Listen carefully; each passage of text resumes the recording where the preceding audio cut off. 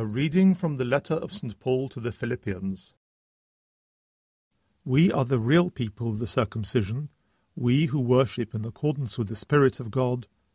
We have our own glory from Christ Jesus without having to rely on a physical operation. If it came to relying on physical evidence, I should be fully qualified myself. Take any man who thinks he can rely on what is physical, I am even better qualified. I was born of the race of Israel and of the tribe of Benjamin, a Hebrew born of Hebrew parents, and I was circumcised when I was eight days old. As for the law, I was a Pharisee. As for working for religion, I was a persecutor of the church. As far as the law can make you perfect, I was faultless. But, because of Christ, I have come to consider all these advantages that I had as disadvantages. Not only that, but I believe nothing can happen that will outweigh the supreme advantage of knowing Christ Jesus my Lord. The Word of the Lord. A reading from the Holy Gospel according to Luke.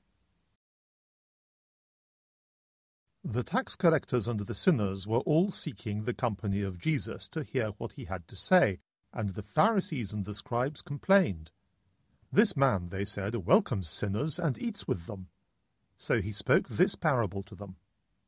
What man among you with a hundred sheep, losing one, would not leave the ninety-nine in the wilderness and go after the missing one till he found it? And when he found it, would he not joyfully take it on his shoulders and then, when he got home, call together his friends and neighbours.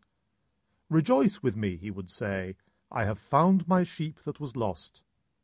In the same way, I tell you, there will be more rejoicing in heaven over one repentant sinner than over ninety-nine virtuous men who have no need of repentance.